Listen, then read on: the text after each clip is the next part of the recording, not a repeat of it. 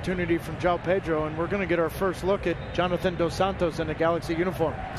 Well, there was some thought he may get perhaps 10, 15 minutes. He's going to get a lot more than that. Here he is, the big new DP signing made just before the arrival of Sigi Schmid, of course, but uh, Sigi Schmid sending on Dos Santos. Well, and Sigi immediately pulled Gyasi Zardes over. McInerney will come off. Zardes will play as the number nine up front.